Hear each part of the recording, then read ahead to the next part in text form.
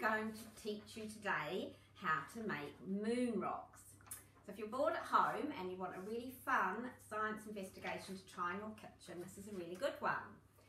I would suggest you do it with a grown-up though, because what we're going to be working with gets very, very hot.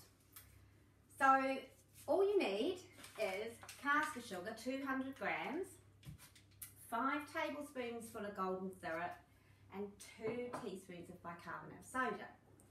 Now if you melt the syrup and the sugar together in the saucepan on a low heat and then once it's all melted, keep stirring it so it doesn't burn, turn the heat up a little bit until it goes all bubbly.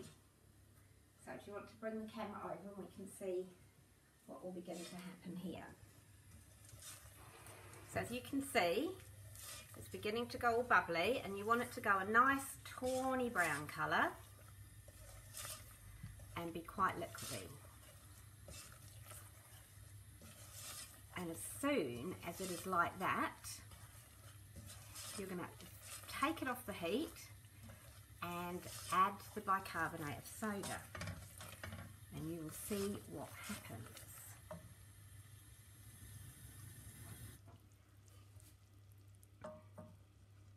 Stir the bicarbonate soda in.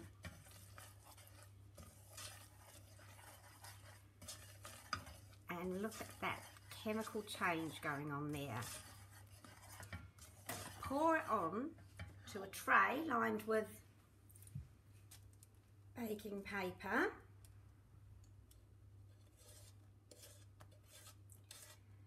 And leave it to go hard. That will take about an hour.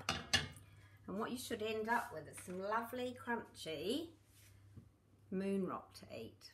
It's delicious.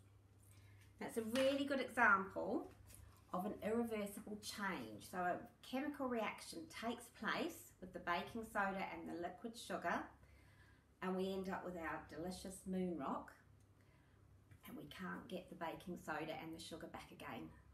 So we're just going to have to eat it. Have fun!